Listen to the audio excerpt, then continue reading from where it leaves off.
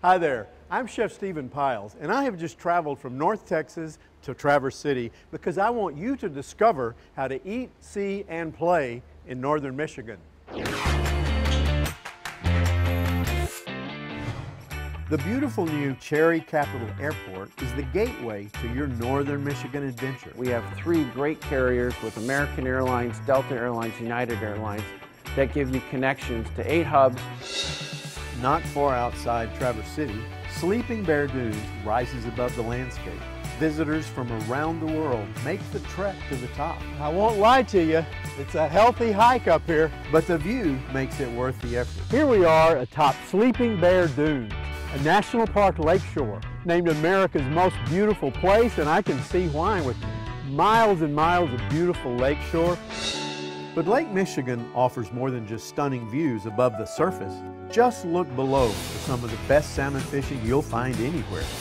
If there's one thing Northern Michigan is known for, it's golf, with hundreds of courses, one more beautiful than the last. Treetops Resort in Gaylord is a premier destination. Barry, tell me about this place. So it's a special spot here at Treetops. We've got five golf courses. And this one's pretty special. The designer, a gentleman by the name of Robert Trent Jones Sr., who's designed hundreds of golf courses around the world. We certainly don't have this elevation in Texas. From inland Gaylord back to the shores of Lake Michigan, you'll find Bay Harbor Golf Club in Petoskey with an environment that rivals Pebble Beach. Here at Bay Harbor Golf Club, we have three nine-hole courses and views that are uncomparable. A spouse can come and golf, have a great time. The other spouse can hit the breweries, the wineries, do some shopping, explore the history. There's just a lot of things to do in the area besides the golf.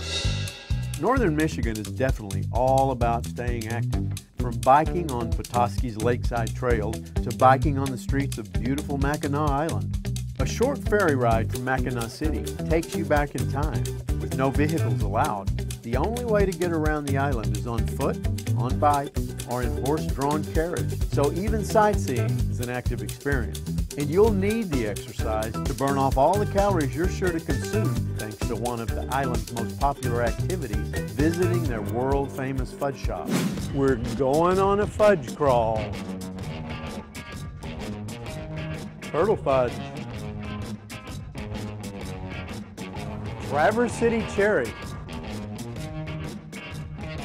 The dilemma, pumpkin or cake batter? English toffee, or as I like to call it, Heath Crunch. Peanut butter chocolate fudge.